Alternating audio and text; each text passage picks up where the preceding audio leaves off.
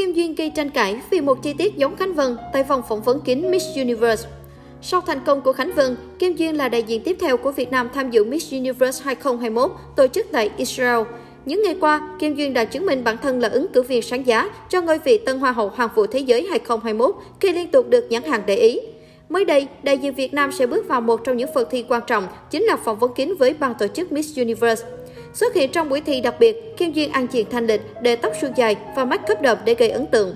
Đại diện Việt Nam cho biết, năm nay Miss Universe có thay đổi thể lệ. Mỗi thí sinh chỉ có 3,5 phút để trình bày về bản thân mình, thay vì 8 phút như mọi năm. Kim Duyên là mỹ nhân cuối cùng bước vào phòng thi.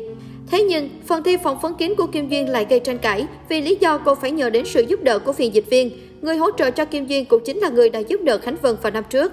Ngay lập tức, netizen đã thổi buồn tranh cãi vì cho rằng Kim Duyên từng là du học sinh, đã có thời gian sinh sống và học tập tại nước ngoài, nhưng lại sử dụng thông dịch viên cho vòng thi phỏng vấn kín là không hợp lý. Tuy nhiên, một bộ phận netizen bên vực và cho rằng việc Kim Duyên nhờ sự trợ giúp của phiên dịch viên là do ban tổ chức Miss Universe cho phép. Ngoài ra, với những câu hỏi khó, thì phiên dịch viên sẽ giúp Kim Duyên có phần trả lời ấn tượng, đúng ý cần truyền đạt đến ban giám khảo hơn.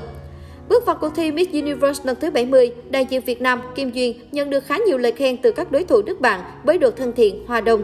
Trái ngược với sự lo lắng của nhiều người, Kim Duyên vô cùng tự tin trong quá trình giao tiếp, thậm chí netizen còn ưu ái gọi cô là thánh ngoại giao của Miss Universe.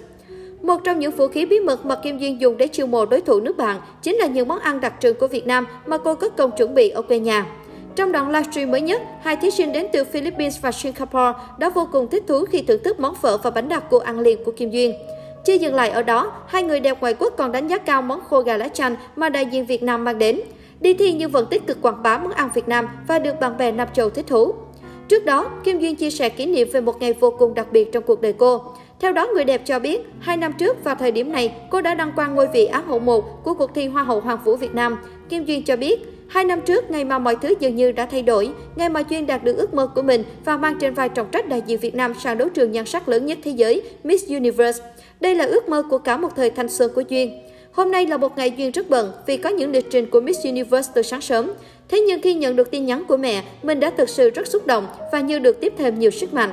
Ngày này hai năm trước, mình đã đặt lên bản thân niềm tự hào hai tiếng Việt Nam và chỉ còn vài ngày nữa thôi, mình cũng sẽ được hô vang tên và hai tiếng Việt Nam tại đấu trường nhan sắc lớn nhất thế giới này. Mình cảm thấy biết ơn tất cả mọi việc đã xảy ra giúp mình thêm trưởng thành, mạnh mẽ và bản lĩnh hơn, Kim Duyên chia sẻ cảm xúc.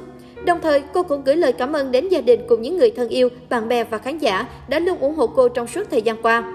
Con biết ơn gia đình, biết ơn ông nội, bà nội, biết ơn ba mẹ, em trai, những người thân, bạn bè đã dõi theo và yêu thương con mọi lúc mọi nơi. Mọi người chính là chỗ dựa tinh thần rất lớn cho em và chấp cánh cho em bay cao, bay xa. Chính sự đam mê và yêu thương của mọi người đã làm cho em luôn có tinh thần chiến đấu mạnh mẽ nhất. Em cũng xin được gửi lời cảm ơn đến tất cả những anh chị em đã yêu thương và quan tâm đến em. Duyên xin ghi nhớ và trân trọng tình cảm của tất cả mọi người.